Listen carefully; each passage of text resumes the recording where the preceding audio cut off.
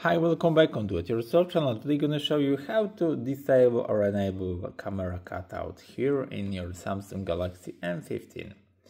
To this operation, go to settings of your phone and there you have to search a display here. Yep. Now go down and search for the camera cutout. Yep, that's here.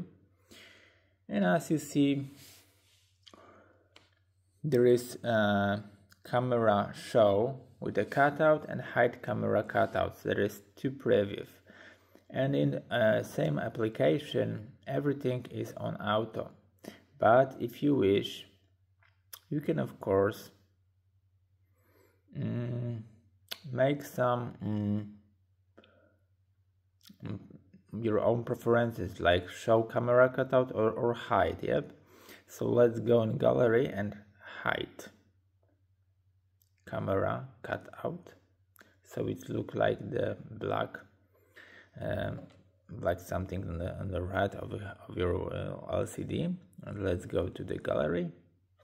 As you see it's uh, it's hiding. Yep. What about if we choose auto? What we'll do now? A phone it's output something like that. So anyway do it uh, like you want to do. And that's it for now. I hope the video is helpful for you. If yes you can leave like leave comment and leave subscribe and see you by next video. Hey